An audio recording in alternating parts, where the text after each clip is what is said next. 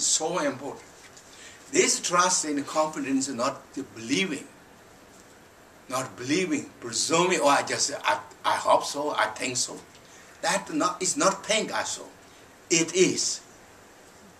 That is how we investigate, for example, mind. You always, for example, what we in the teaching said, where is mind? So what the answers? Where mind come from? Where mind is? Where mind went? Or mind is going? If you analyze, or if we analyze in these three ways, there's nothing we can tell. It's each time we are completely on the speechless status. 100% the one, we are in a speechless status. Where mind come from? It's maybe be shocking if you heard the first time in our lives. Where mind come from? Somebody says, you will think maybe it's cuckoo. or she is a cuckoo. But reality, there's no answer. That's just a saying. No answer. Speechless. What in the Zen teaching said, a koan, I think. It's the koan. Where mind come from? So thinking of the past, where mind stayed the past time. Where yesterday our mind stayed. Our physical stayed in our home and slept in the bed. But where mind really stayed? Where exactly? Where yesterday mind?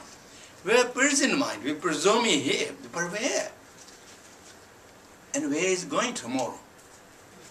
So this is the what is called in the, in the teaching said soon and dosun. Coming, going, existing or place stay.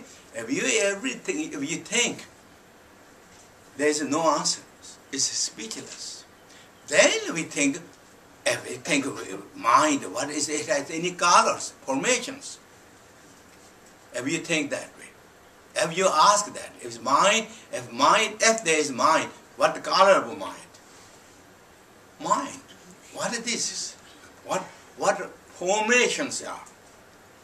Everything you ask questions, really, I mean, we ask that question, there is no answer. For that reason, and again, in Gohen Garba teaching, what said?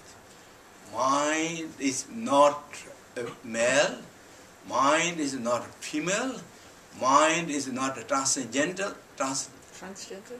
transcendental.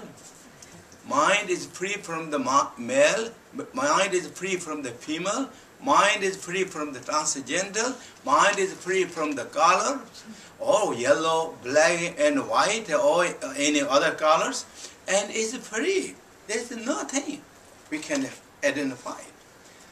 When you see that, this is when you ask to your mind, in my mind, where is been, where is now, where is future, what is my mind's color, this and that thing. But when you don't have the answer, when you didn't see anything, then what the teaching said, and you, your own intelligence, our own intelligence, proved, validated. Now that's the, what it is. Now that is will nat- the nature of the mind. That is your will. Now you're going to maintain that. That maintaining is known as meditation. Will that you behold with your own or our own intelligence.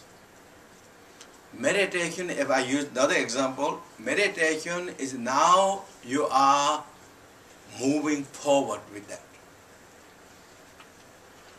What you see, now you're moving forward with confidence, with trust, because you validated yourself and Buddha validated, validated and lineage teaching validated, those are known as the three validators.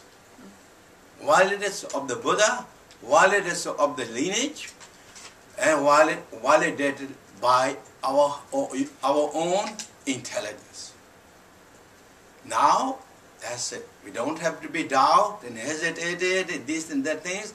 Now, we continually take the journey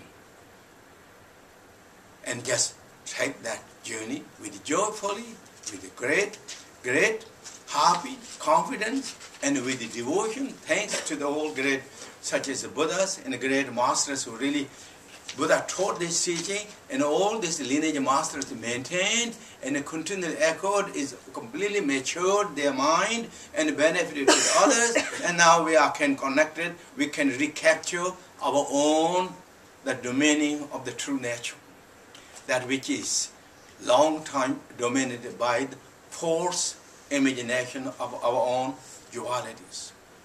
How wonderful, how beautiful, thanks grateful, and then follow with that. And with that, then let's